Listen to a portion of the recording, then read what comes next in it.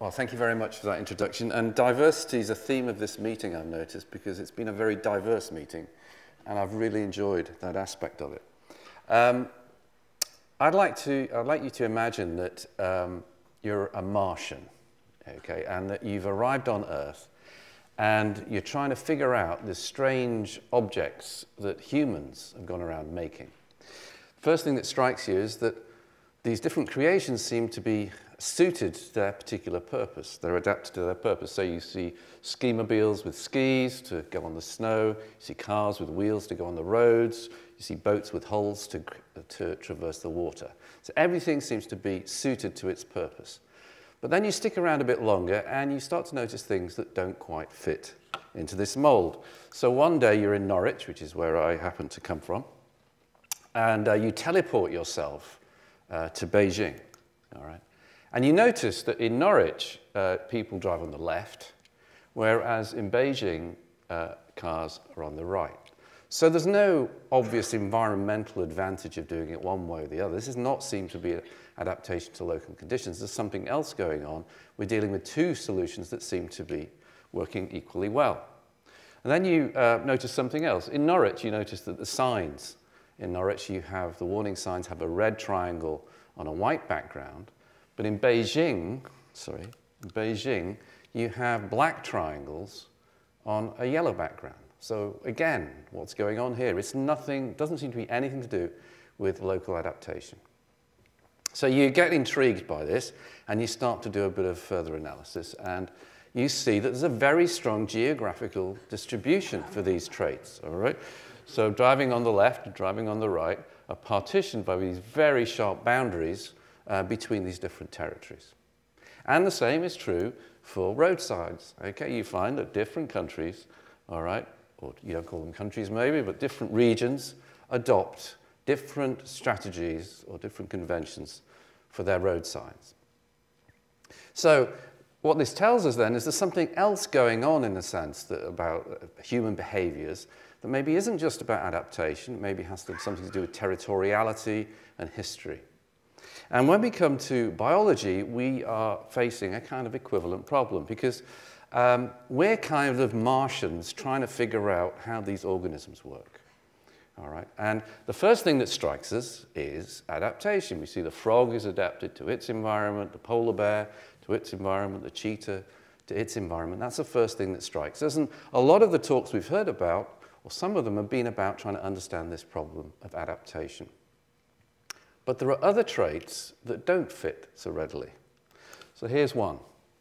So if you look at flowers, you'll see that um, some flowers, some plants have four petals, some have five, some have six. This is a highly conserved trait within each species and actually along whole taxonomic groups. And by and large, there's very little genetic variation, there's, there's strong selection on this because we know you can get variants, for example, in Arabidopsis that have five petals. You can have five petal mutants, but you don't find them pretty much in nature. So there's a very strong selection that maintains this difference. And yet each of these types can grow in all sorts of environments. It seems that each is an equivalent solution, all right, to the same problem, um, but there's nothing to choose between them. But each species tick, sticks to its own number very rigidly. It's like we're dealing with a kind of vegetable nationalism. Each species each plant thinks, I've got the right petal number and you shouldn't vary this number, but different species adopt different conventions. Now, in case you're thinking that this is a rather these examples are rather peculiar, the notion that you can have different solutions to the same problem is fundamental, actually, to biology. Because if we go, uh, oh no, get, let me give you another example before I come to that. Here's uh, a snapdragon flower, uh, Antirrhinum pseudomajus. A bee and pollinates this flower by entering a specific location, all right, to get into the flower. But if you look, there are two closely related subspecies of this species, one which has a yellow highlight at the entry point, and another one that so it's yellow on a magenta background, whereas this one has magenta highlight on a yellow background. All right, so we're dealing with two equivalent, seemingly equivalent solutions, again to the same problem. There's no difference as far as we know between the pollinators of these flowers. We're dealing with two uh, alternative solutions. So yes, as I was saying, the, this notion of two solutions or multiple solutions to the same problem is fundamental to our notions of biodiversity because if you go back to this, this frog is not alone. Okay? The frog is sitting uh, on a water lily. Now, it makes no sense, really, to say which is better adapted to its environment, the frog or the water lily. They're both solutions fundamentally to the same problem, which is surviving and reproducing in this given environment. All right? You can't talk about uh, uh, the sort of which is better and which is not. Um, and moreover, they're, they're, they're occupying distinct genetic territories. All right? There's no gene flow between these populations. All right? And that's why you can't talk about the fitness of the frog relative to the water lily. You just can't talk about it because they're not sharing the same population. There's a strong barrier, a reproductive barrier between the two. And this partitioning of, of biology into these different, uh, different forms, equivalent forms, is uh, evident in all these pictures, whether it's the cheetah in the grass, the polar bear in the pine trees. We see again, nature seems to be, evolution is driving us towards these discrete barriers between these alternative ways of adapting or dealing with particular uh, challenges.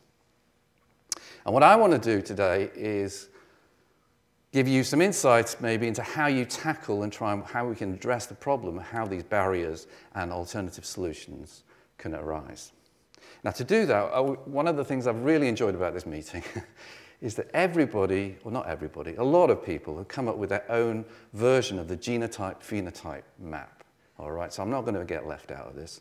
So uh, here's my version.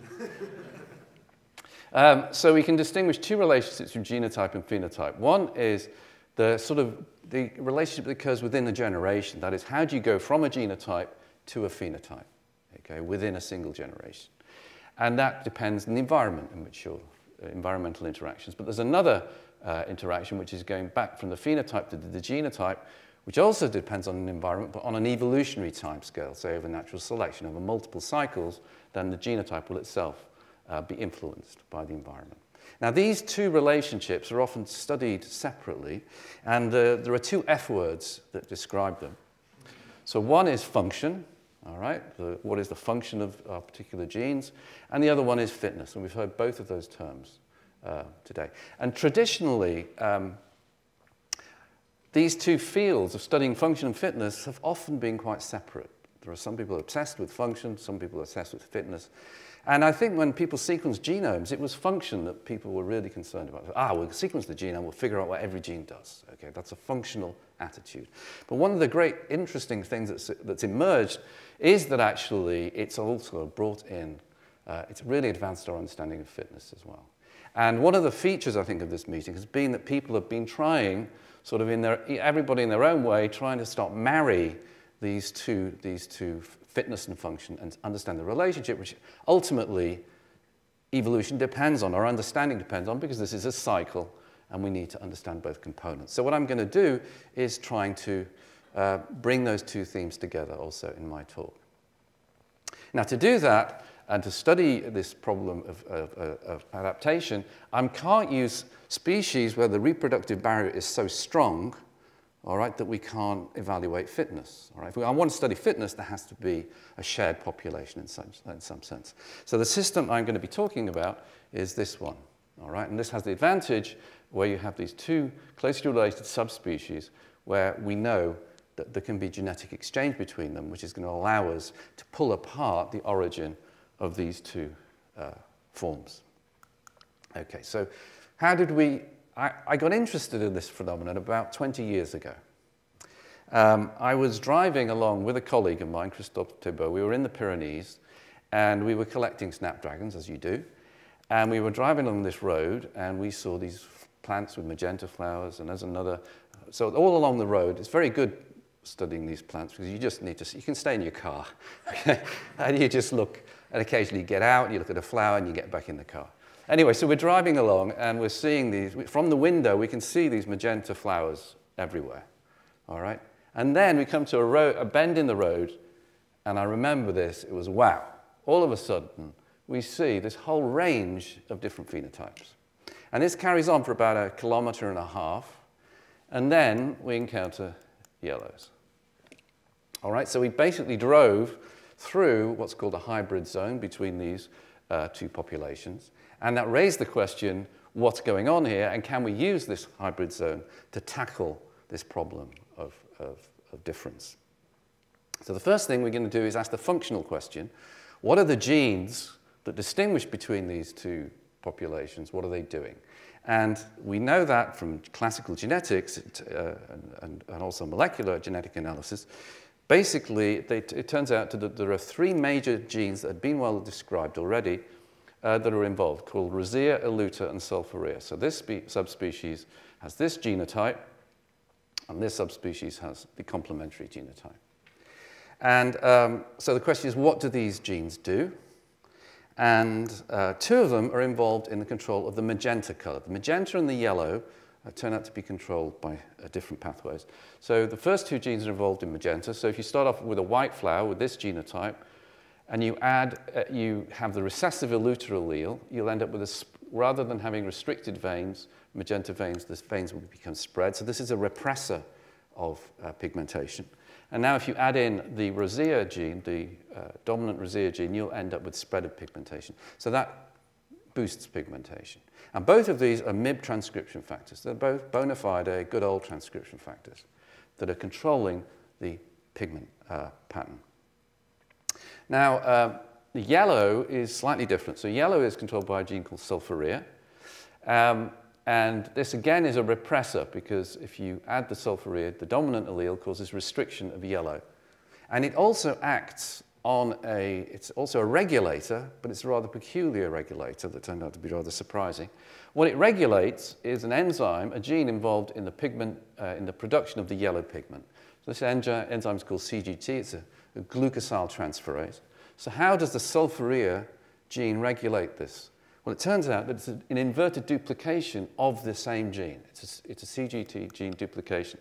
And it produces as a hairpin RNA that then cause, which produces small RNAs that cause degradation of this R. Right. So this arose actually as a duplication, inverted duplication, and that's created the repression of the yellow, of the yellow color. Okay, so now we know uh, that these genes, we know the genes, we know the players involved and what they're doing. Um, what's going on at the hybrid zone? So one of the things you can do is ask what's happening to the frequency of the alleles for these different, uh, the, these loci. And what you find, which is maybe not too surprising, is that they show steep climbs in allele frequency as you go. The middle of the hybrid zone is about 12 kilometers on this map. And if you look at the frequencies of these alleles, they shoot up or down, depending which way you go, um, as you cross the center of the hybrid zone. All right, so the very sharp boundary in terms of the free allele frequency, which reflects the frequencies of, of the colors. Now, when you see a boundary like this, you've got two explanations. One is that some sort of selection going on that's keeping this very sharp. The other one is that maybe they just met very recently, all right? So that's why we're not seeing much uh, gene flow, or else we're seeing sharp, it just reflects the recency of the contact. All right. So we can, we can distinguish those by looking at what's happening at the rest of the genome. If there's something about the special about the color genes and selections operating on those, they will stand out compared to the rest of the genome. So we did that, um, and the way we set about doing that was uh, inspired, sort of like the measure that we used to address that was inspired by the sort of uh, way taxonomists approach biology. So here you see a bunch of flowers and uh, with four petals and a bunch of different flowers with five petals. And that's what taxonomists like. They look for characters that distinguish your populations at whatever taxon or whatever taxonomic level you're interested in. You, as a taxonomist, you're looking for what characters are uniform, have low variation within one group, that distinguish it from a different group. All right, so they're looking, uh, what they love are discrete and distinctive characters that have low variation within, but strong variation between. And uh, there is such a measure that we, is used in population genetics, which I'm going to call population genomic taxonomy, uh, which, is which is called the FST index, which is essentially the difference between the between population diversity and the within population diversity. All right, so in the previous example I gave you, within population diversity was zero. All right, and so, the, so this now equates to the between population diversity. So relative to the total, if P, pi w is zero, then you just end up a with a ratio of one. All right, and that would have been the case on the previous slide. On the, if, however, the, these two are equal, pi b and pi w are equal, then you'll end up with zero. So for example, here, all right, the between if I mix up my species, as it were, the between population diversity is the same as the within population diversity. So FST evaluates to zero. So we can now apply this idea to a genome sequence. And we did this, to do this, we took pools of our yellow, this thing is, uh, what happens to it when it runs out of steam? um, don't worry, don't worry. I'll just, I'll point. Okay. So the yellow, um, so we make these two pools of yellow and magenta flowers, make DNA, and then evaluate the FST. And so here, for example, the top is the pool for magenta, the bottom is the pool for yellow, and um, if you look at the, the, the, uh, the SNP on the right, there's, there's, the between population is the same as the within population diversity, so that gives you an FST of zero. On the, left, uh, the next one, on the left, you have a diagnostic SNP, and so that gives you a, an FST of 1. And then in the middle, you have something in between the two. That gives you an FST of 0.33. So um, if you do this for across the genome, what do you get? Well, um, this is going, I think it may, maybe, come, it comes to, back to life every so often. You just need to give it a rest. So um, if we go along chromosome 6, you'll see that FST is relatively low, but then there's a, one place where FST goes extremely high. So what is that place? Well, it's exactly where the genes Rosea and Eluta reside. Rosea and Eluta happen to be tightly linked, and so they're the genes involved in pigment production. So clearly, there is some sort of, they're standing out. They're not behaving like the other genes. There's some sort of selection operating on these loci that's distinguishing them from the rest of the genome.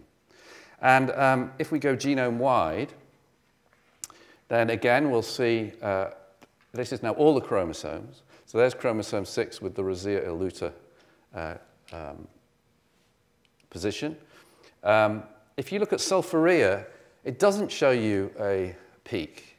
The reason for that is somewhat artifactual. It's because it's an indel, because you're dealing with a presence-absence all right, of, uh, of, uh, of your mutation. The SNP, FST, which picks up SNPs, doesn't do a great job with indels, all right? So, and it's actually quite a complicated indel, so therefore we don't pick up the FST, we don't pick up the peak at sulfurea, but we do pick up a peak somewhere else. And so the question is, what is this other thing?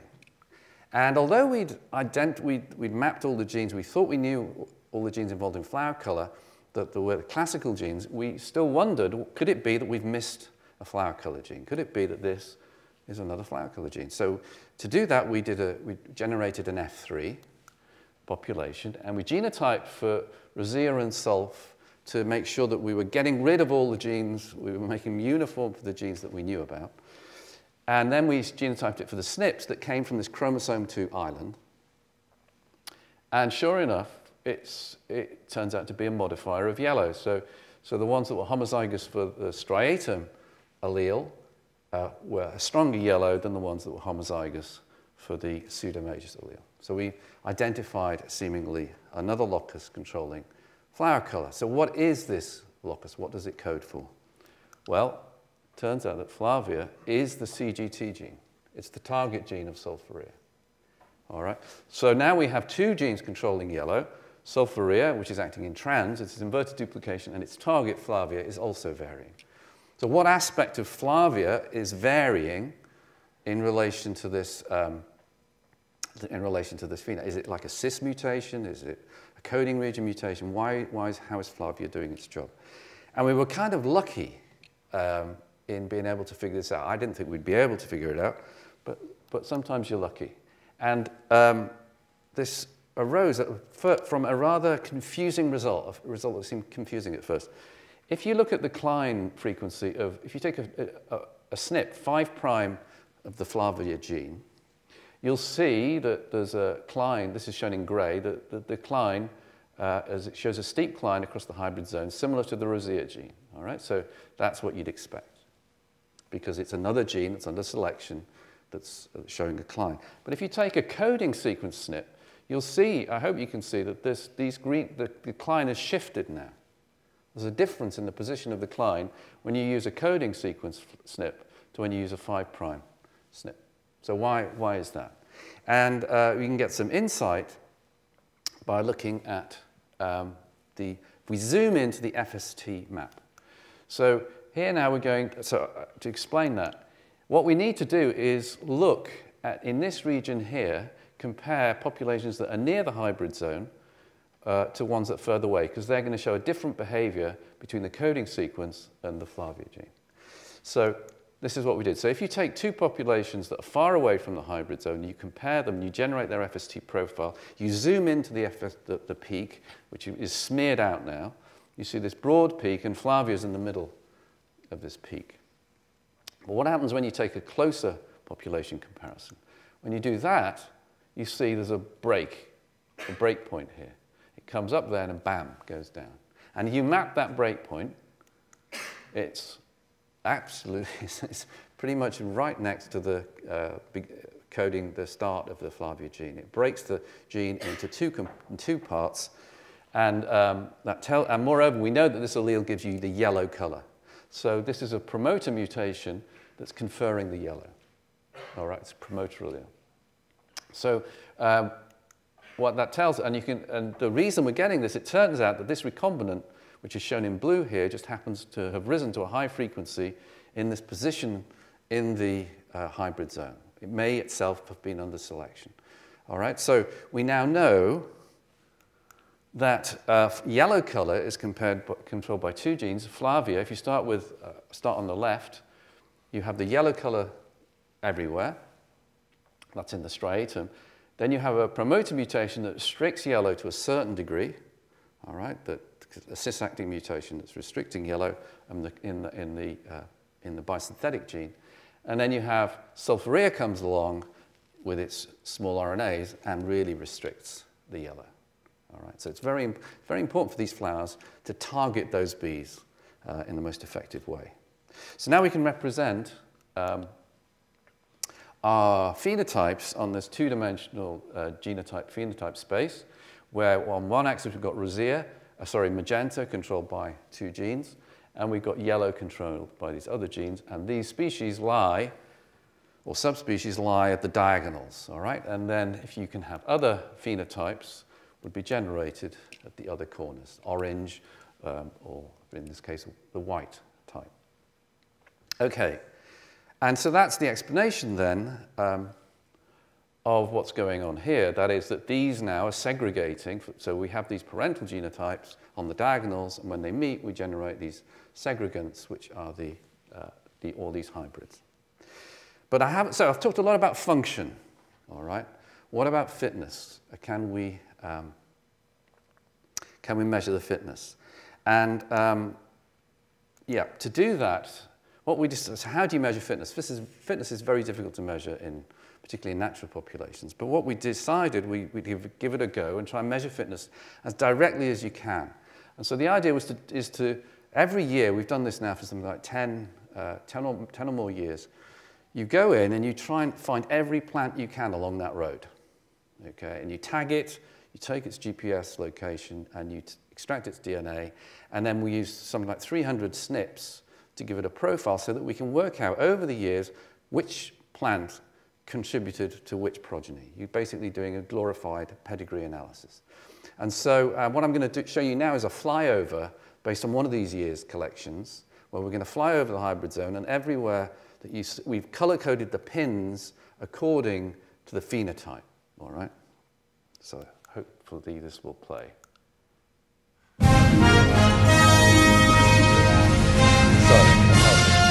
Right, so here we're going through the magentas.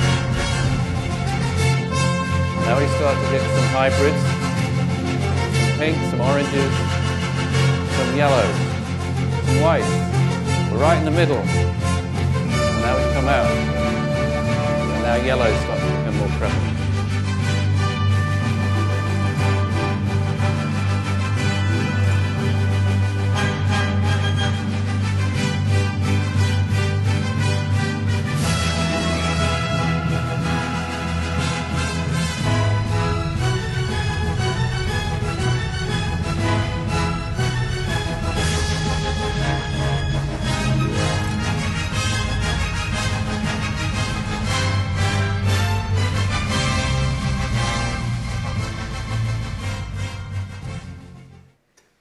I love that music. anyway, so we, we've, um, so we genotype these individuals, and then we can uh, establish what, what you're seeing here is a, uh, each, along each year you're seeing these are all individuals, and the lines are telling us the inferred uh, parentage, all right? So that, for example, a plant here will hopefully have two parents, as long as you've collected every single, in practice you can't do this um, for every plant because you miss plants because they're too high up or whatever. So it's actually quite a complicated thing to do, and I don't take any credit for this. This is the work of Nick Barton and David Field, who really figured out the statistics and, and how you deal with this problem of assignment uh, to, of these plants. But anyway, they did this, and the result was uh, that if you try and relate this to the phenotypes, you find that in fact there are two that stand out as having higher fitness. And these are the uh, two parental phenotypes. And the other phenotypes um, have low fitness, relatively. So that's the amazing, I'm quite frankly amazed that this worked, um, but that seems to be the result that we got. So that's consistent with the idea then that these, um, these peaks are being maintained by a barrier, all right, a low fitness barrier, uh, that's, uh, that these hybrid combinations, maybe they don't make such good signposts for the flower. That's, that's, that's the assumption that they're not as good signposts, and so therefore they're selected against. They have lower fitness, um, and that's what's maintaining these as these FST islands, because they're not exchanging between these populations where other genes um, can exchange. Okay, so that's um, the question you might ask, though, is, is this how general is this? Is this a peculiarity of flower color? So every gene I've shown you so far has to do with flower color. Is this flower color specific? Or are there other loci that would show the same behavior? And the problem we've got is that we've used flower color in order to identify this phenomenon in the first place. Remember, I was drawn to this because we were driving through and, hey, we saw the flowers. So we've only looked, we've really concentrated on this region because of flower color. So we wouldn't know, what, is this representative? Are we being biased by our eyes in choosing um, this phenotype? So for example, what happens if you co compare a magenta population here with a magenta population out here? What do you see in terms of um, FST profiles? So if you make those pools, then now you no longer see peaks at Flavia, the color genes. You wouldn't expect to because they're the same color. All right? But you start to see other, these other peaks, so you ask yourself, well, is this noise? Or is this another set of genes that are partitioning our population? Maybe it's a patchwork of all sorts of traits, and flower color is just the one that we happen to choose. So how do you test that idea? So then um, one of the ideas that, uh, that um, Daniel Richardson, who's in the audience actually, started a few few months ago started to come up, came up with the following scenario. Maybe what we should do is go colorblind. Okay, so we're going to go. So we're going to now lose our color vision. All right, and we can now look at these populations as if we had no no sense of what color they were, but we're going to give ourselves the ability still to see FST. So it's like we're a Martian that's colorblind, but that can see FST wherever he looks, he or she looks. All right. What would the world look like to such a person, all right? If, if we went around with FST glasses, what would we decide about the world and would we, what conclusion would we come to? So, the way you do this is, uh, so, so Daniel's gone along the genome, 50 kb at a time, and for every 50 kb window, ask what pattern of FSTs do we get between our pools, our populations, and then give a distance. There's a line that uh, separate them according to their FST. All right, so the bigger the FST, the further away our populations. So for most of these windows, you end up with a pattern like this. There's no strong spatial structure, all right, but the, the, populations are distributed um, like this, and you end up with a unimodal distribution of FST. All right, that's the majority, but some of them are a little bit more interesting. Some of them you get an outlier, all right? You get one population that's weird, that's very far away in terms of FST from all the other populations. And that gives you a, a, a bimodal distribution with a small, small frequency here, most of them having short, uh, short FST. links. The most interesting ones, though, are the ones that give us fragmented into two populations, all right? And they're interesting because they're really saying well, maybe they're not just uh, single uh, outliers, we're dealing with now some sort of population structure.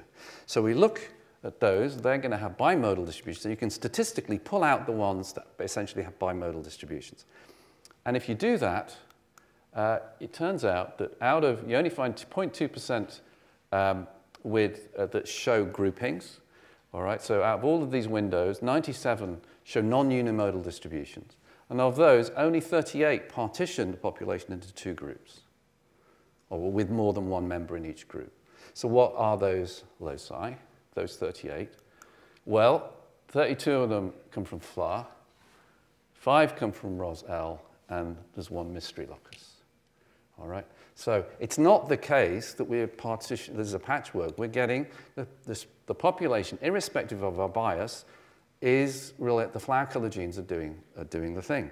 And if we put on our color vision, we'll see that these groups are grouping now according to color, according to these windows. That's FLA, uh, ROS-EL. FLA, you'll see, gives a couple of yellows mingled in with the magentas, but remember there's a recombinant there. So if you have the recombinant part, that's what the, those yellow populations will cluster over there. So what about our mystery gene? What is that doing? All right.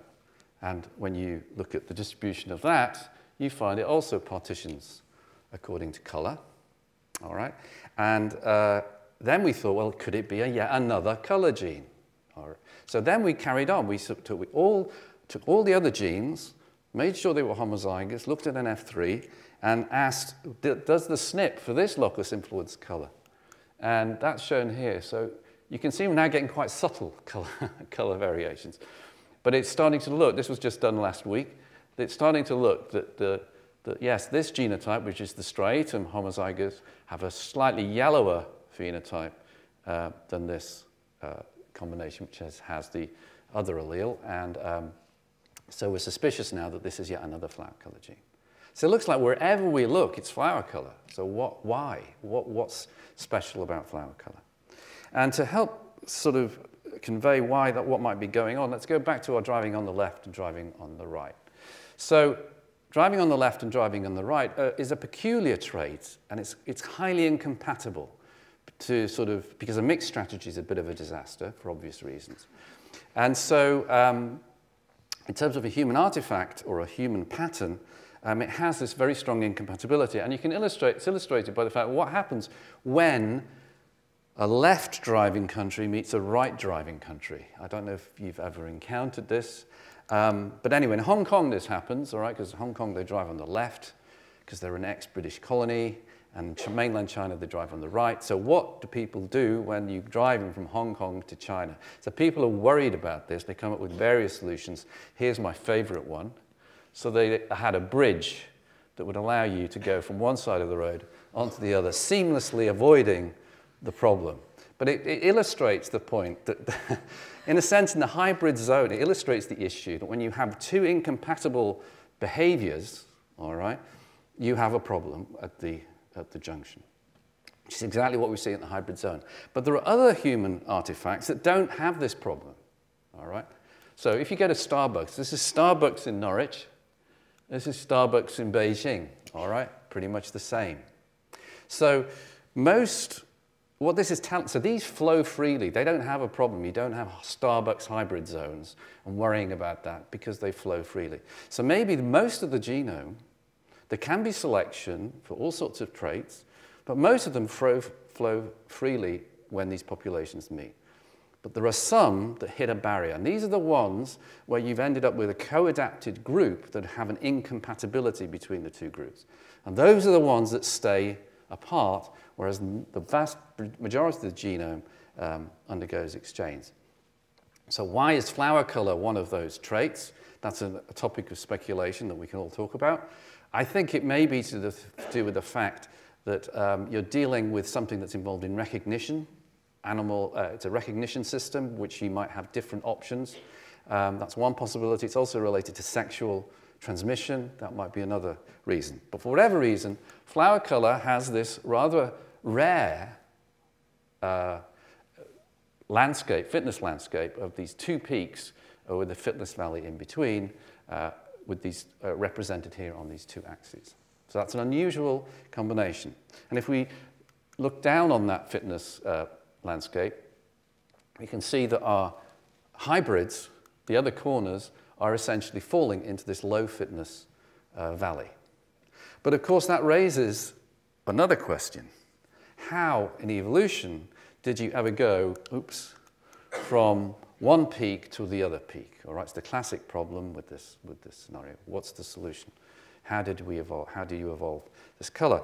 Now, I don't have the answer, but I'm going to give you a hypothesis.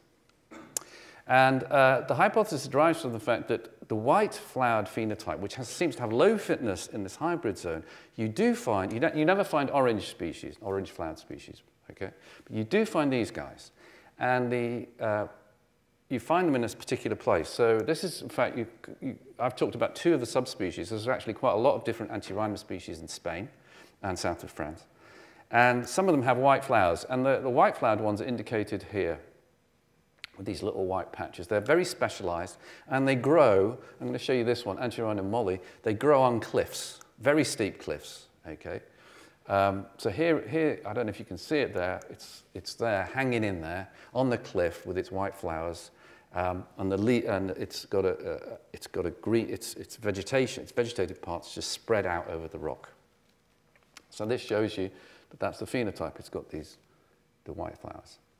Now, um, whereas if you compare that to pseudomajus, the species that I've been talking about, they grow on slopes, all right? They have a much more erect uh, habit. They don't have, they're not pressed against a rock, they grow on slopes. And then maybe you can think, maybe being white flowered is not good in, if you're an erect species, but if you're pressed against a rock, maybe you're only getting light from one direction, maybe white is a better color, we don't know. But the fact is we see white on the rocks, we don't see it with the erect. So what does, how, how, how can we start to put this together? Well, now suppose we have, uh, so let's think about these two environments. A cliff environment with, where it's good to spread your, spread your vegetation, and a slope environment where being erect uh, works.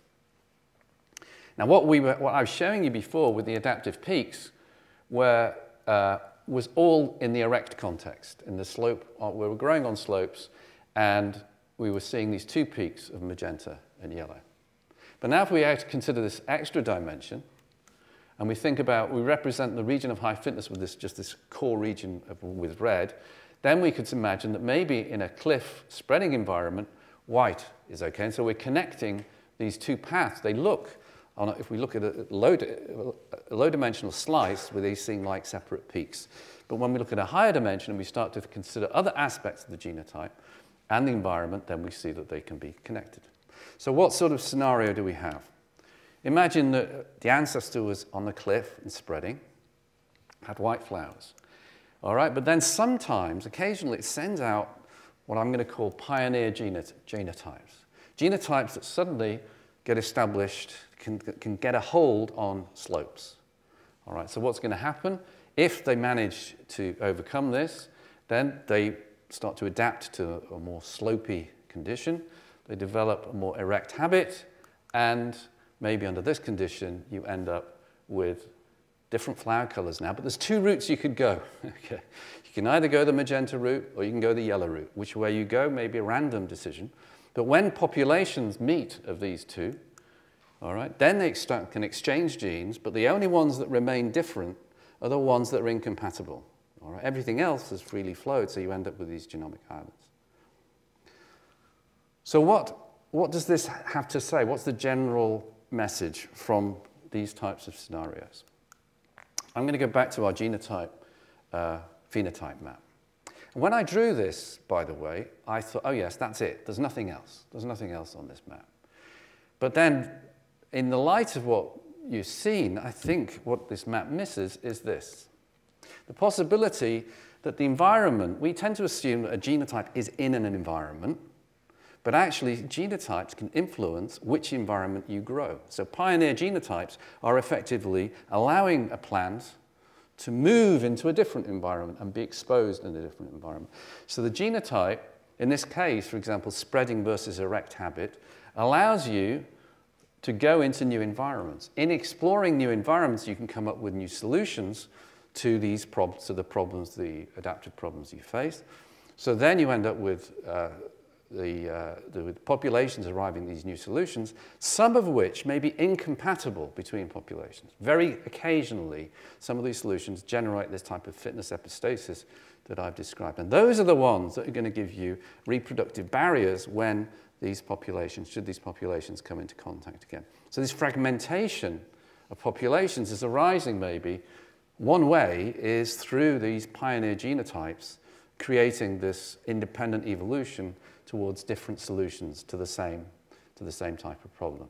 And flower color, we just happened to catch one of these that wasn't so severe that it completely broke uh, reproductive uh, exchange.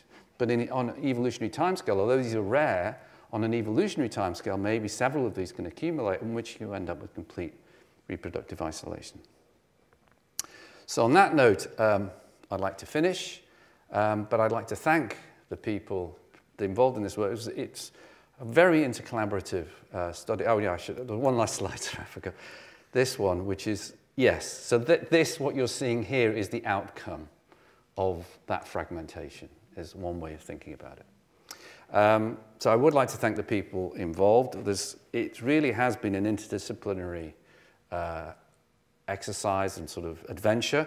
There's been ourselves in Norwich, um, really working on the uh, molecular genetics and some of the bioinformatics, trying to figure, figure out um, some of the different components. And I mentioned Daniel Richardson uh, uh, and his contribution to that. We've been, we're indebted to the group in Beijing, uh, Yongbiao Xue, who uh, did all, pretty much all the sequencing for us. So um, he, in fact, sequenced the antirrhinum genome.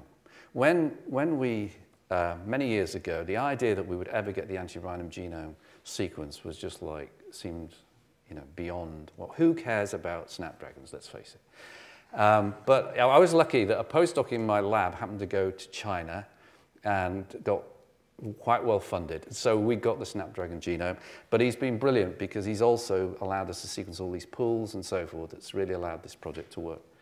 And I'm very indebted also to a group uh, at the University of East Anglia uh, Tamas, Dalmay, Simon, Leighton, who have been involved first in the analysis of that small RNA story, really pulling that out, and also now helping us now with the bioinformatics and trying to figure out what's going on. And uh, last but not least, I should thank Nick Barton and David Field, um, population genetics, population ecologists, and their perspective also has been critical in order to unravel uh, this problem. So thank you very much.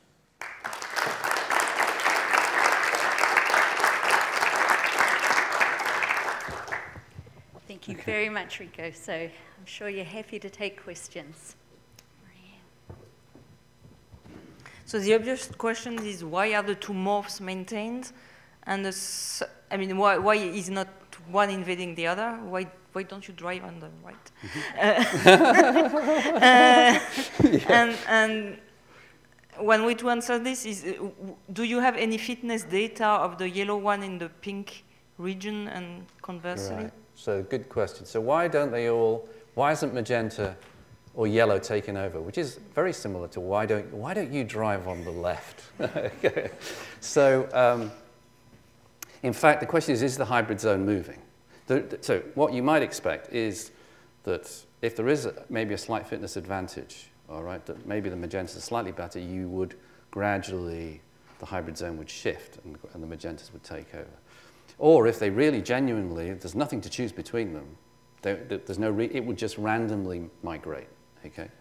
Um, in fact, there's some sort of incidental evidence that it has moved, but we don't know how over how long, three kilometers. Um, because if you look at the chloroplast genome, there seems to be a discontinuity three kilometers away. So that suggests whenever, but we don't know how long it's been moving. All right, so we don't know. It may be that this hybrid zone is very, very ancient. So we don't know. But you're right. In principle, you would either, but the rate of that depends really on the fitness, of, if there is a fitness difference between the two. Um, what was the other question?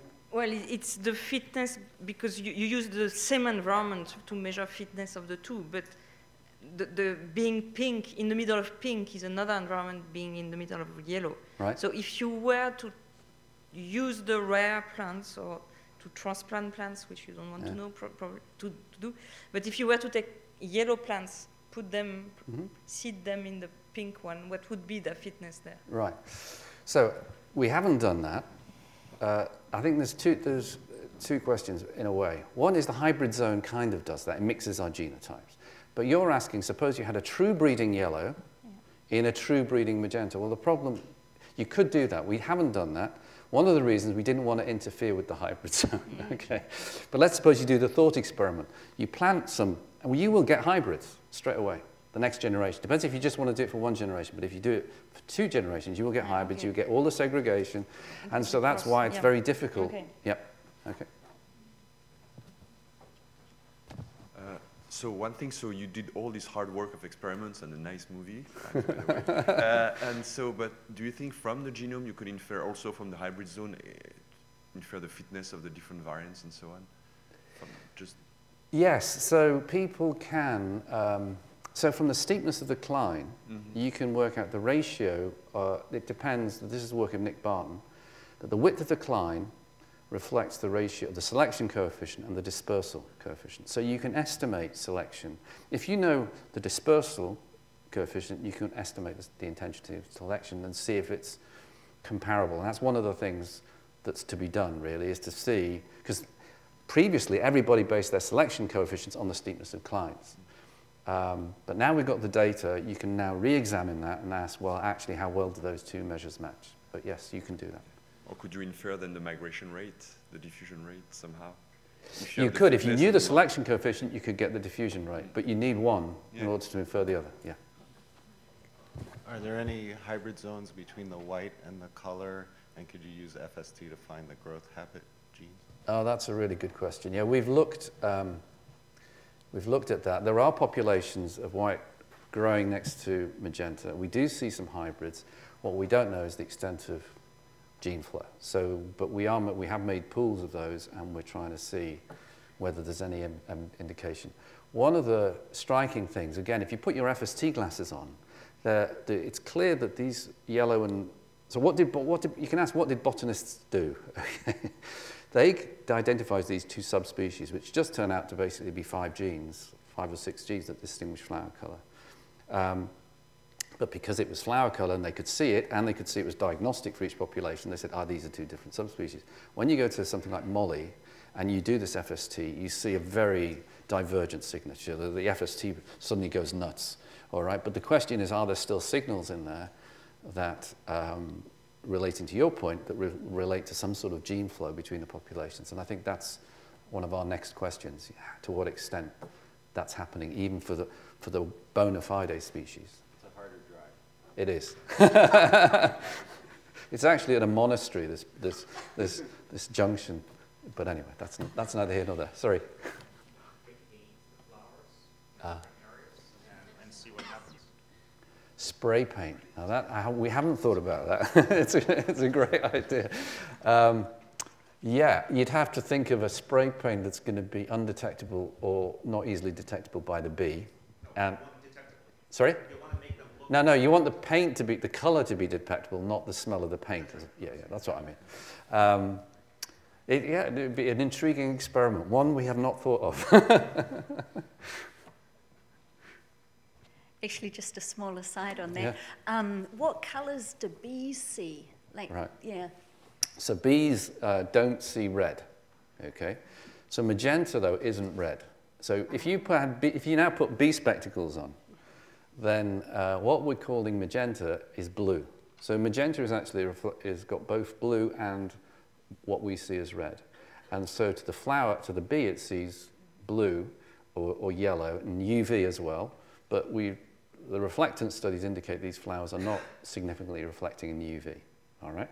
So they're basically seeing blue and yellow, and orange basically looks grey. What looks to orange to us is going to look rather muddy. So that's presumably why you don't find the orange, the orange flowered forms because they basically look nondescript. So you mentioned you look at the FST, and there's, there were some that were isolating one population from the others? Right. Is there any interesting traits there too? Or? We haven't, yeah, so these outliers, Yeah. we haven't looked at that carefully. Um, the problem there is if you have any inbreeding, or it's- let's suppose you have a population that's uh, inbred, then you will end up with that type of behavior. So um, I think it's worth thinking about what is going on, what is causing these outliers. Is it just noise, or is it an interesting um, partition that's only affected one population? So our working hypothesis, it's probably noise and due to inbreeding, but that remains to be seen. We can test that because you can look at the FST values uh, and see are the, is the population, is the pi within, the variation within high or low? So you can start to address what the outliers, what might be causing the outliers. Yeah.